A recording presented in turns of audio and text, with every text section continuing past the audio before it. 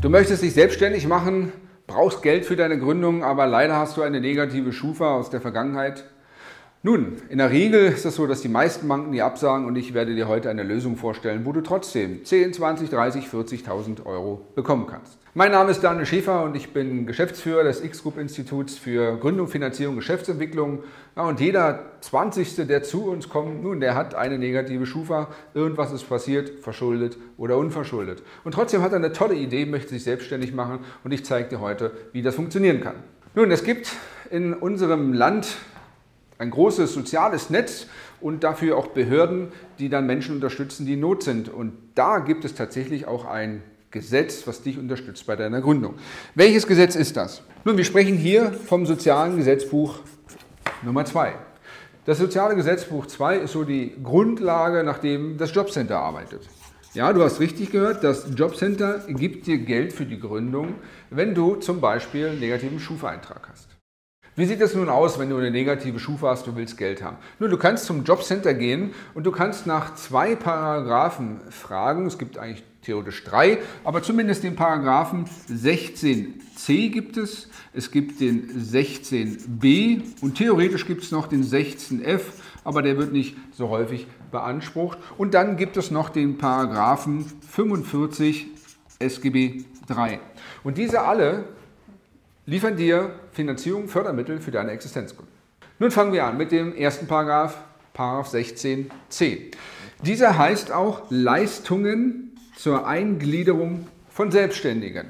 Das bedeutet, wenn du dich selbstständig machen willst und du brauchst beispielsweise einen Computer, 1000 Euro, du brauchst eine Webseite, vielleicht möchtest du ein bisschen Betriebs- und Geschäftsausstattung, einen Tisch oder ein paar Visitenkarten haben, dann kannst du bis 5000 Euro nach dem Paragraph 16c Investitionsmittel, Finanzierungsmittel für Investitionen beantragen.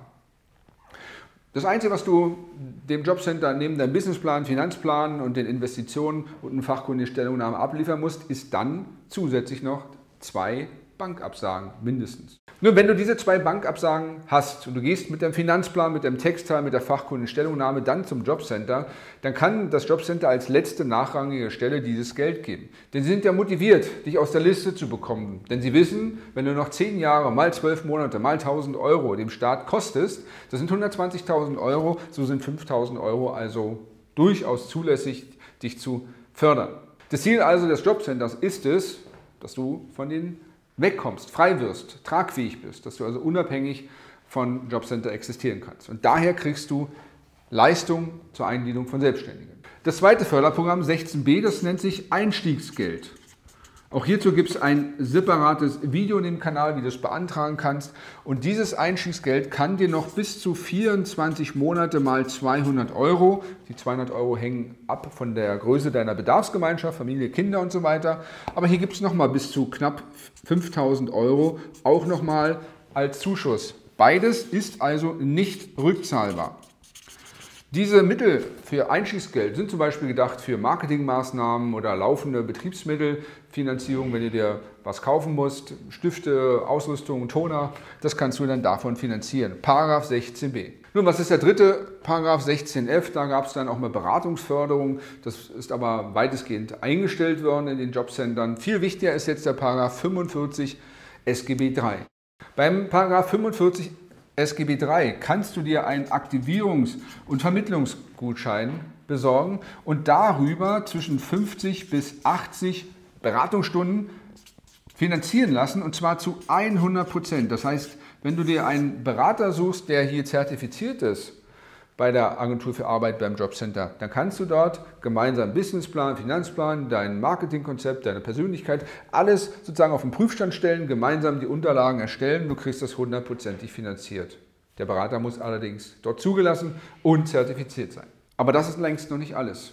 Du hast hier alleine schon über 12.000, 13.000 Euro, die du nicht mehr zurückzahlen musst, was das Jobcenter unterstützt.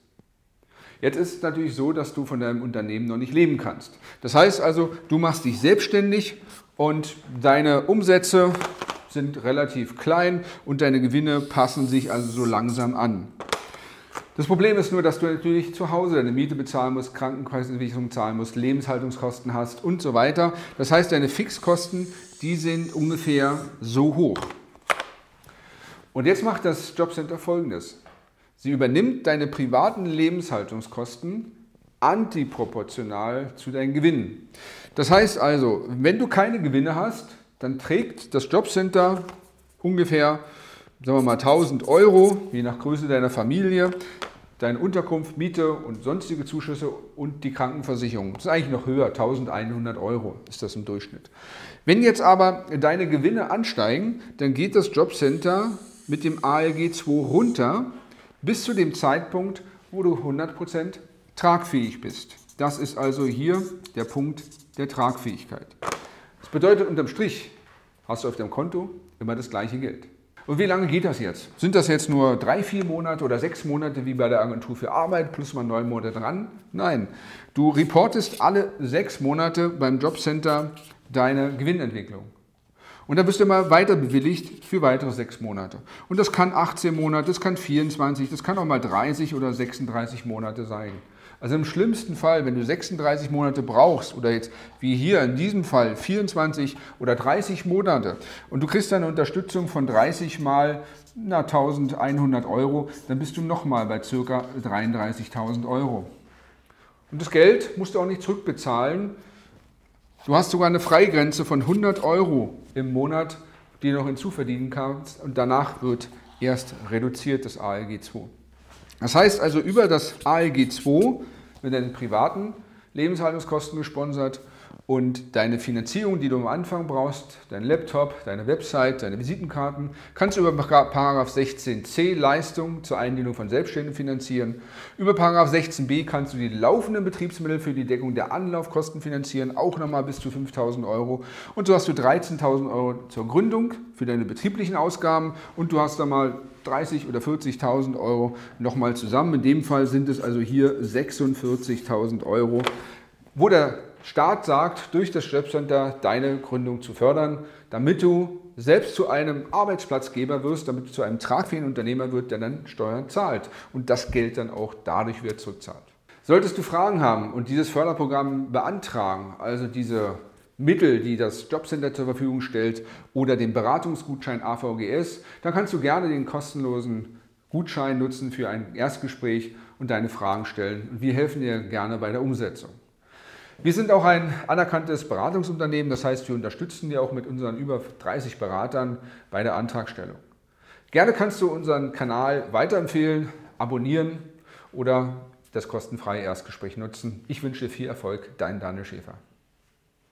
Vielen Dank, dass du dieses Video zu Ende geschaut hast. Gerne darfst du diesen Kanal abonnieren oder auch weiterempfehlen. Möchtest du gerne ein Erstgespräch haben, um deine Fragen zur Gründung, Finanzierung oder beruflichen Entwicklung zu klären, so findest du hier auf dieser Seite einen Gutschein. Mit diesem kannst du ein kostenfreies Erstgespräch vereinbaren, 45 Minuten an der Dauer, entweder in Berlin, in meiner Beratungspraxis oder auch gerne am Telefon. Bis zum nächsten Mal.